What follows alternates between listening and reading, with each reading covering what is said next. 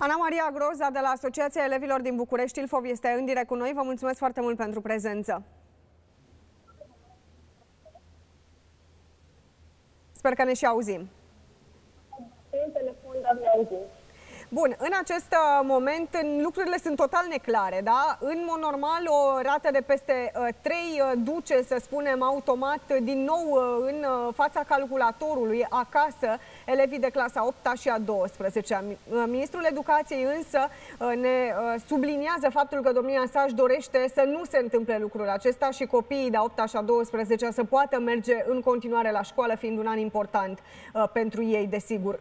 Ați reușit în aceste ore să aflați ce se întâmplă uh, în mod concret, uh, ați trimis punctul vostru de vedere? Este același ca și până acum, acela că elevii de clasa 8 așa 12 ar trebui să fie prioritari chiar și în scenariul roșu.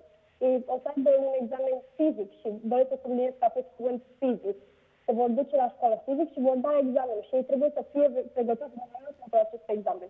Mai mult, este destul de greu să cred că nu există, nu se pot organiza uh, un, un, un mod concret în care elevii de clasa 8 și a 12 să meargă la școală în siguranță, având în vedere că totuși în București avem uh, metode de igienizare mult mai uh, funcționale decât în afara țării, în mediul rural, de exemplu. Și uh, nu este un număr de elevi atât de mare încât să nu ne poată permite să îi introducem într-o clasă sau în mai multe, de exemplu, uh, având în vedere că sunt distanțare.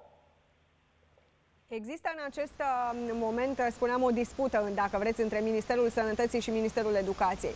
Dacă ar fi să sintetizați în două fraze uh, cât de importantă e prezența copiilor de a 8 și a 12, în mod special la școală, ce le-ați spune celor care urmează să decidă, poate chiar mâine, soarta acestor elevi?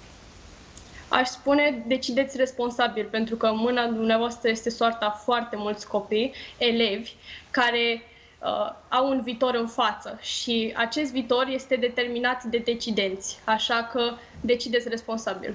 Mulțumesc foarte mult pentru prezența dumneavoastră și pentru mesajul atât de direct. O să mergem mai departe acum cu alte informații.